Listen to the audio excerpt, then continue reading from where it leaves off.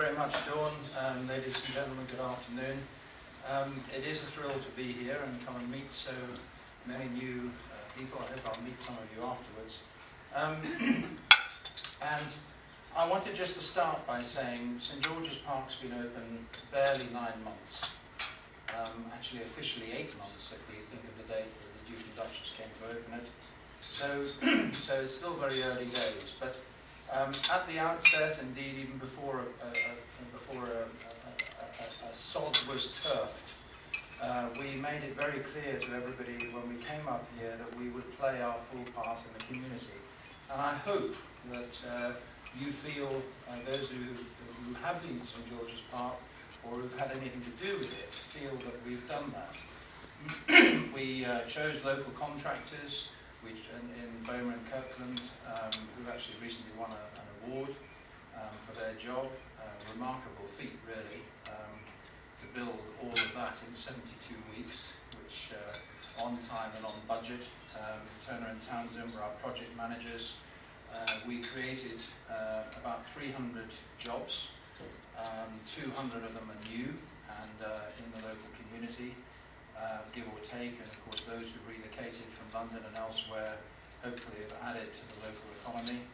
Um, we've made um, some great relationships in local partnerships, uh, none, um, none less than um, uh, important than, uh, or none more important rather than Burton and South Derbyshire. And so our relationship with Dawn, I'm thrilled to come and speak for you, Dawn, here today. Um, very excited to have played our little part in um, them gaining univers uh, university technical college status, and uh, we're looking forward to that uh, and how we can um, how we can play our full part. Uh, we've got good relationships. I I, I hope uh, that everybody feels that with the Staffordshire Borough Council, the Staffordshire County Council, the Chamber of Commerce here, with local hotels and pubs and we try to make sure we don't compete as far as possible. Obviously, we do compete in certain ways, but um, we, we do encourage people to come here to Branston and to uh, use Hoar Cross and other um, local facilities. Indeed, even when we're overbooked at St George's Park, uh, we actively uh, use uh, local hotel rooms around the area. And in terms of um, St George's Park being seen as elitist, um, it absolutely isn't, and I thought I'd just let you know if you don't know already. We have 32 under 11 teams playing at St George's Park every uh, every weekend. Uh, we have two adult Sunday morning teams playing. We have the Burton ladies team play there. Um, we have 29 mini soccer uh, uh, teams playing there. We have Staffordshire and Derbyshire FA engaging. Um, just to name but a few. So, um, and then of course Burton Albion still train, um, and they have that as their training ground. So um, we're only sorry that Bradford City stayed at St George's Park. sorry about that. Um, but what I really wanted to talk about today, and I was thinking about how I could make St George's Park relevant um, to local business, and I, I want to share with you a few thoughts about culture and performance. And and, and my sort of mantra is really culture before performance. And um, because St George's Park is really all about creating uh, cultural change um, for uh, in the pursuit of high performance. In other words, a winning England. Because we all know that everybody is going to judge St George's Park ultimately as to whether England wins the World Cup and uh, when we might do that. so but the same principles, in my view, culture before performance, apply uh, in all of our businesses. And so I think the first thing I want to say is that skill these days, for me, is the prerequisite. And so all of you in your different businesses, um, you recruit people for skill, absolutely, and they have to have the skill or the talent to do the job uh, that you want them to do. Um, but there's a very famous quote I've used for many, many years by an American president in the 1920s, Calvin Coolidge. And he said, nothing in the world can take the place of persistence. Talent will not. Nothing is more common than unsuccessful men with talent. Genius will not. Unrewarded genius is almost a proverb. Education will not. The world is full of educated derelicts. Persistence and determination alone are omnipotent. Well, let's think about that for a second. How many people can we think of in this room, I mean not in this room, but those of us in this room think of, um, you know, who've wasted their talents? There'll be people we know who were at school, um, maybe sportsmen and women, um, people who had a tremendous talent for something but somehow didn't, you know, really use it or kind of threw it away. Educated derelicts, loads of people who who have gone to school and become extremely clever and, followed university and uh, maybe got doctorates and PhDs and goodness knows what, but have not ever really done anything um, with them. So the drivers of success for me are attitude and behavior. And um, that's really what I think we look for and what singles out the people who are successful and the people who aren't. Last night I was at a dinner, Harry Redknapp was asked who was the most uh, brilliant player for him that he ever trained, who was his favourite player to ever manage in his career. And he said, without a shadow of a doubt, Frank Lampard. And he said, Frank Lampard is not the most gifted footballer that he'd ever met. He's seen many, many, many more gifted players. But from the age of 17, he worked, he worked and worked and worked. Very similar stories you will have all heard of David Beckham and other people like that. They made the most of their talents through their work rate and their attitude and their approach. In fact, when I talk to schools, I often put up a, a, a slide and then ask everybody to give me what they think are the qualities of leadership and um, I won't do it with you here today, but it, it's, it's very interesting, and most people come up with words like uh, encouragement, role model, flexibility, um, go the extra mile, you know, all, all these words, and they trot all these words out, and we write them all up. Then I ask them how many of them are skills and how many are attributes. And they're all attributes. so skill is the prerequisite the thing that singles us all out as to whether we're going to be successful is our, um, is our approach, our attitude. And we do choose our attitude. If we're grumpy in the morning, we've chosen to be grumpy. you know? And uh, so we are in control, actually, of our attitude and our approach day in, day out. In exactly the same way as Frank Lampard is in control of his attitude and his approach to training. So the relevance of St George's Park, apart from all the other things that it is, is um, a focus on the role of the coach. Because every good coach for me starts off with uh, looking at their subject by saying, you're a genius. Every single one of you in this room are a genius. And you know, we're not trying to be anybody else, we're just trying to get better at being ourselves, to maximize our talent to maximize our attributes, to be the very best that we can be at being ourselves. And so culture before performance. What is culture? Culture for me is a vision, understanding where we're trying to go, values, which are absolutely crucial in any decision around culture, discipline, and an, an approach to life, I think, that's around lifelong learning. Believing that we can always get better. We were having a conversation at lunch today. Alex Ferguson, he embodies that. He always stood for, you know, how every player could be better. Look at Ryan Giggs, those of you who don't all have to love football in here, but Ryan Giggs and the Scholes and these people, they're playing till they're nearly 40, and they still think they can go on improving. And if we think about, so we think about culture and how culture gets imbued in us, in us all, it starts at school. Uh, it starts with parents, indeed. It starts with family life at home. But um, so family life, school, um, football teams, Sandhurst. Take Sandhurst. I went to Sandhurst and took some of the senior people from the uh, FA there a couple of years ago.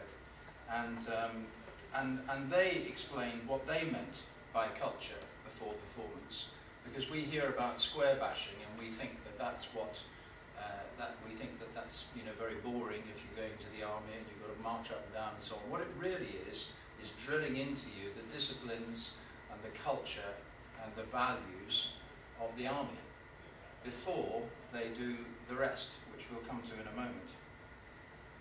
Louis Gerstner, you know, who uh, it, some of you may know is the man who turned around IBM. He said, culture is everything. In the end, an organization, that's any of our businesses here, is nothing more than the collective capacity of its people to create value. That's what every business is. If we distill it all down, we talk about our businesses being people, it actually is the culture. So many of us will have wrestled in our lives with, you know, how am I going to turn this management team, this disparate, maybe even dysfunctional team, if I've come into a new business or maybe you bought a new business or you moved to a new company, how are you going to turn them into an effective management, production, marketing, sales team, whatever they are? And in my book, it will always be by establishing the culture. And so many people make a mistake by bypassing that. And they leave that aside and come in and just think that they can somehow turn the switch on and everything will work. In other sports, Andy Flower, I haven't heard what's happening in the test match today, um, the Aussies, many years before, they did it. They've now lost it, thank goodness. Stuart Lancaster, after the New Zealand nonsense with the England rugby team, what he's done with England rugby, Roy Hodgson, Alex Ferguson. There's an interesting little experiment going on in the northeast at the moment for football lovers. A certain Paolo Di Canio is trying to establish his culture at Sunderland. It'll be very interesting whether it works. It's certainly going to be shock treatment, but I applaud him. He's trying to establish the culture. And there will be some pain in doing it. And I think shared vision is the other thing that's so important in terms of being able to lead the whole person. My brother, when uh, we were much younger, we were in the food business together, he used to say to me, David, uh, have we got enough money to employ another couple of poes? And I said, what are poes, Rick? And he said, pairs of hands. and what he meant, he didn't care, he just wanted two more people who could, who could hump pallets or you know, whatever it was going to be, and a lot of heavy lifting work. But nowadays, we know that leading people is leading the whole person. It's not only leading um, the po, as it were, whatever those, that person can do, his skill or her skill, it's also leading that person's mind. It's being interested in involving them in how the company develops. It's leading their heart, their spirit, the camaraderie, what makes you get up in the morning? What makes you want to come to work and be part of that particular business? And the successful businesses lead the whole person. I commend to you a book by Stephen Covey. You will have all read The Seven Habits of Highly Successful People, but you may not have read The Eighth Habit. And The Eighth Habit is the second book, and it is all about that. It is leading the whole person. So, 80% uh, of the time, I would say, should be devoted towards getting the culture right. Um, culture drives personal motivation and it drives our behaviours. The teacher has the defining influence and it's the teacher who really can encourage people to take ownership of their own career. So in English football, St George's Park is about changing the culture. It's about encouraging people to want to be world class for themselves. When we went to Sandhurst recently, the colonel said to the assembled gathering and said to me, David, can I speak candidly? I said, sure. He said, um, what, what, are you hoping to gain from coming to see us? I said, well, I don't know anybody who turns um, young people, comparatively spotty undisciplined young men and women into very effective leaders in a shorter space of time than you do. And he said, well, my view is there's something sport needs to learn, and in particular football needs to learn. and that is that leadership is not taught, it's learnt. And the relevance of what I was saying about Sandhurst in the, in the square bashing is that that's putting the culture first. And how they learn to be leaders is through experience.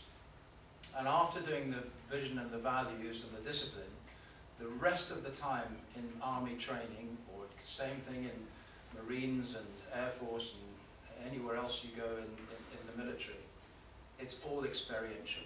So time and time and time again, you're given a chance to learn, to maybe succeed, maybe fail, but you learn how to be a leader. And that's absolutely fundamental. Absolutely fundamental. Personal leadership for me results. Because once you've had the opportunity to experience it, uh, you begin to want to take ownership and take responsibility. So at St George's Park, for example, before we even built a brick, we had to agree what our values were. And they were accessible, aspirational, so we wanted it to be open to everybody. We wanted it to be somewhere people would aspire to come to. We wanted it to be stimulating. We wanted it to be rewarding so that when you left, you felt that you'd learned something rather like you go to a speech or a lecture, and even if you got one thing out of it, you say to you, you and your friends afterwards, you know, that was really worth it. So what of performance then? If we've invested in getting the culture right, for me, performance has three words. Leadership, responsibility, and attitude. Defining leadership is always an interesting one, and I picked out two or three for you. Shakespeare said leadership is all about being a student of human nature. Think about it, it's very profound. Montgomery, leadership is the capacity and will to rally men and women to a common purpose which will inspire confidence. Good, okay? Sort of does it for me. But the one that really does it for me is Eisenhower. And I think this absolutely hits it on the mark. Leadership is the art of getting someone else to do something you want done because he wants to do it. And that's the point. The point is that we're encouraging personal leadership. So great leaders encourage other people to then lead themselves and lead their colleagues. And we can coach leaders. We do coach leaders. We coach leaders in military establishments. We coach leaders in business schools. We coach leaders at Burton and South Derbyshire College. We coach leaders through MBAs. We coach leaders in sports medicine and sports science. We push boundaries. We encourage innovation. So we actually can coach leaders. Responsibility, I'll do very quickly, but for responsibility I leave people whenever we do, again, school talks particularly, with two little pieces of my toolkit. Responsibility is the three R's. Responsibility for your own performance, responsibility for your own development, and responsibility for your teammates. And I find they really work. And that again is the culture that we're trying to engender in St George's Park. And the attitude, I call it my personal app. Ambition, passion, and perseverance. Persistence, if you like, perseverance. Ambition, passion, and perseverance. So there are many, many lessons in sport for business. And uh, the mistakes in business, I think, are usually brought about by people forgetting the power of the dressing room. And when I talk about the power of the dressing room, I mean the power of the people that we employ. Jim Magilton, who was my manager at Ipswich, he always used to say, when a team got it right, the dressing room was running the club. Now, there might be some extremes of that. I think Chelsea last year, when they took over the running of the club, for those of you who are football fans in the room. But it's interesting thinking about it. That's the dynamic. Think about really successful companies, and I'm sure there are all of you in this room are being successful, I hope, in one way or another. It's because you're working together as a team, and it's not all top down. I listened to a lecture the other day with uh, Stuart Lancaster, who's making such a great job of the England rugby team. And he, he gave a little short list of some of the reasons where companies fail. His first one was the ones who employ consultants. and I'm sorry if there are any consultants in here. but too often, it's too easy, of course there's a role for consultants at times, but it is sometimes too easy to you know, abrogate one's own leadership responsibilities and one's own team building for your own business and call out for other people to do it for you. To have too few coaches um, and not to build the team spirit in the business. Not enough involvement with everybody, not enough integration, not enough consulting, not enough listening. Arrogant management.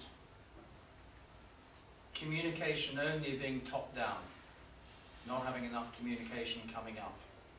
You know, the really successful managers, Alex Ferguson, Arsene Wenger et al., they listen to their players and listen to their coaches. And they have a two-way communication and it works. Employing skill without recognizing the person. I know, and we were having a discussion at lunch today, there are some successful managers who just go out and buy the player. And Harry Redknapp might be one of them. Uh, I can think of a number of others uh, in the game over the years. Mark Hughes, there are a number of people. They just go out and throw the checkbook, and some of them are very good at assembling a team. But it's never going to be anything that lasts, because it's just about buying skills, and it's not actually about developing and honing um, the, cohes the cohesiveness uh, of a team. People who focus on weaknesses before strengths and the people who fail to invest in youth and learning. So St George's Park's vision is to win the World Cup in the 2020s.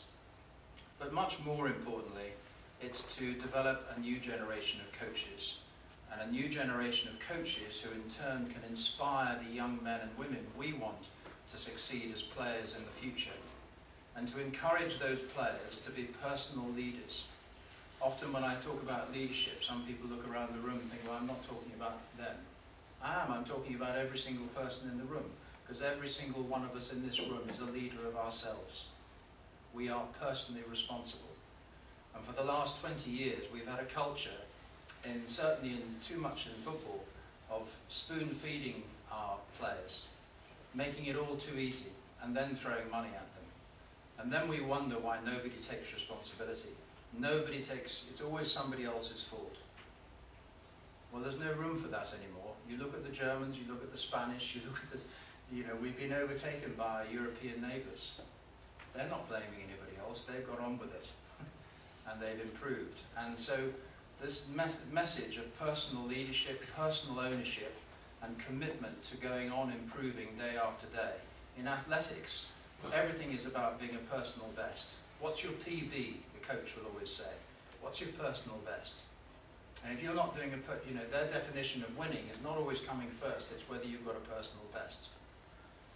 As Ian Thorpe, one of the, uh, if you've been in the hydrotherapy pool, there are so many quotes we've got around there, but one of them is, um, you know, winning, uh, sorry, losing is not coming second. It's getting out of the pool knowing that you could have done better. So uh, it's a very exciting time and um, we are going to see hopefully the benefits of it in years to come.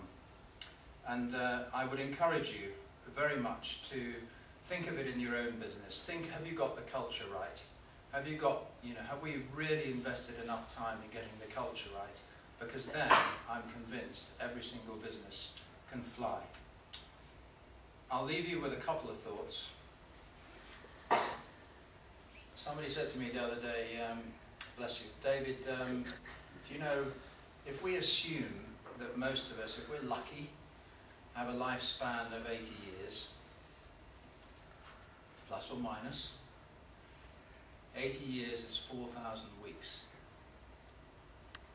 So I'm not going to ask any of you where you are in that patch, but I'm, I'm at 3,000 weeks. So I've got a thousand weeks left, hopefully and it does concentrate the mind. Because we're all going to have a rocking chair moment one day and we'll be in that rocking chair thinking I wish we could have or I would have. And we mustn't do that. We must grasp every opportunity we've got today to have fun, enjoy life, contribute, build our culture, excel in performance, and uh, all enjoy our lives. So get the culture right before the performance. It's been great speaking to you. And before I finish, a little plug for your community foundation in Staffordshire. I don't know how many of you, hands up, who knows about the community foundation in Staffordshire? It proves my point. There's only two fingers went up, that wasn't a hand, it was two fingers. um, I've just become chairman of the UK Community Foundations, and there are 54 community foundations in, um, in the United Kingdom, 51 of them in England. I was chairman of Suffolk for eight years, and um, they're the best things uh, in charity for me. Uh, charity is very personal. You only ever support charity. Um, it's either very personal to you, or it's a, it's a pulling your heartstrings, or maybe it's a sense of duty. A few people maybe support charity because they want to be recognised for doing it. Um, but the community foundations support all the charities that are under the radar.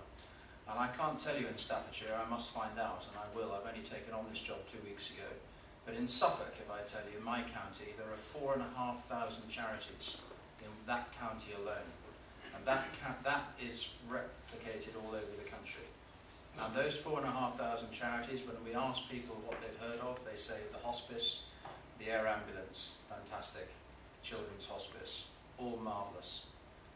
But there are a whole raft of others that are dealing with domestic violence, sexual abuse, drugs, disabled sport, stroke victims, mental illness, uh, you, you name it everything you can possibly imagine, and they're operating in our towns and villages all over this county, and all over the counties in every, every part of the country. And they often run by volunteers. In fact, they are mostly run by volunteers. They don't have big, sophisticated fundraising like the hospices and, uh, and air ambulances do, and somebody has to support them because they are part of the fabric of the county. This county, Suffolk, Derbyshire, all over the country. They're doing extraordinary things. So if you get any chance to, when you go home, Google Staffordshire or Derbyshire uh, Community Foundation, and um, it won't be the last you hear of it from me either. But uh, they're very special and they are worth getting involved with.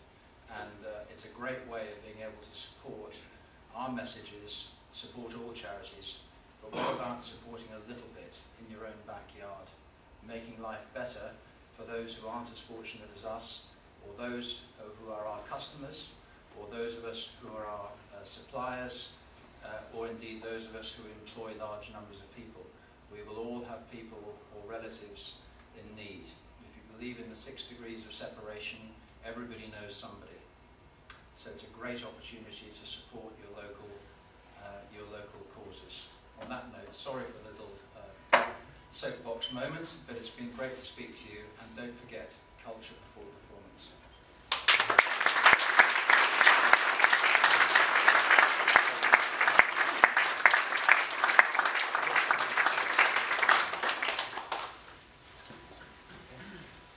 Um, I'd just like to close now, actually, and uh, thanks again to our uh, our sponsor Henry here, and uh, for the, uh, uh, the, the, the plug he's given for uh, helping businesses save money and energy. And uh, thanks very much for David for speaking because there's quite a few uh, good points that came out there which I'm sure we can all use in our businesses. And uh, finally, before we go, I've got a small presentation to do. Come on then. These are for you, Dawn, from uh, myself and uh, Chamber Council. Pleasure.